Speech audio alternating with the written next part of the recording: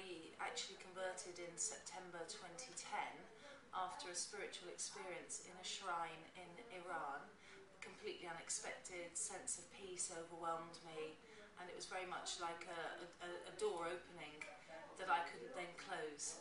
Um, but I would say that that I've been on the path to Islam, if there is such a thing, for around five years. I think the first step towards understanding what this religion is about is to spend time with Muslim people. And I've uh, been lucky enough to work a lot in the Middle East. So the fear of Islam, the fear of what it represents, the fear of families living in the Middle East was gone very quickly. The main thing is, as a mother, I recognise the beauty of the Muslim family unit.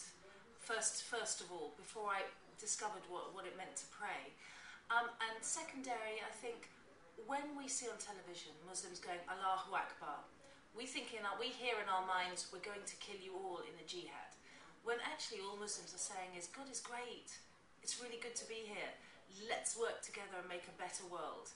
And once you see that and you recognize the way people pray five times a day, I was drawn to the to the to the uh, the, the spiritual cleansing, and and it makes your life very very different. It makes you a better person.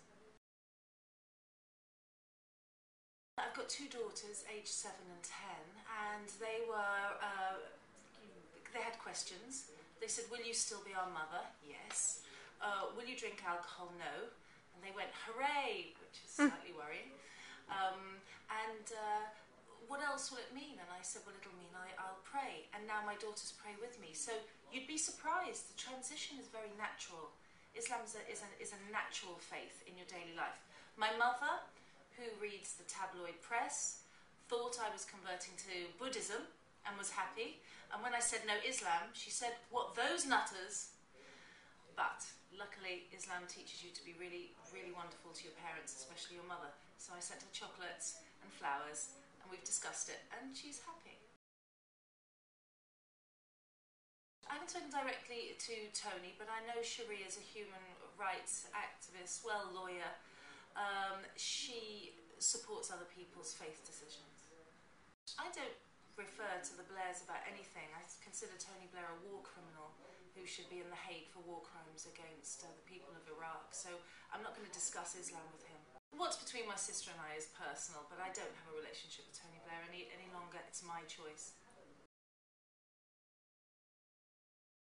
We're made to feel really, really afraid of Islam uh, every single day with what we read in the press. I think the image of a woman as modest is sold as a woman who's repressed.